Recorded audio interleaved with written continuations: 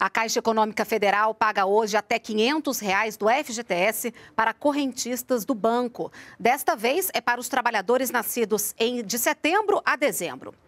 Vamos então até São Paulo saber os detalhes com o repórter Ricardo Ferraz. Ricardo, bom dia para você.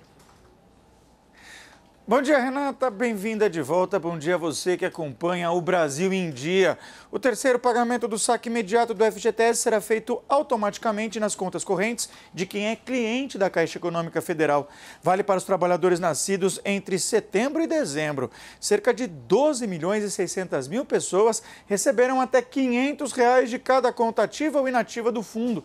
Isso representa uma injeção de mais de 5 bilhões e 100 milhões de reais na economia.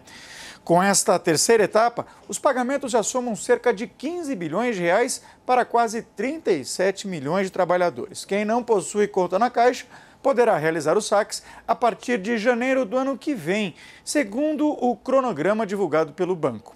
O trabalhador pode consultar o calendário e obter todas as informações sobre o FGTS pelo telefone 0800 724 2019 pelo aplicativo do FGTS, que pode ser baixado em qualquer celular, e pelo site fgts.caixa.gov.br.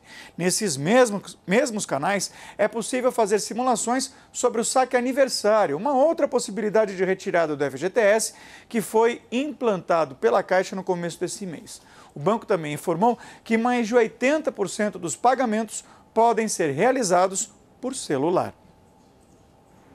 82% desses pagamentos são pelo celular.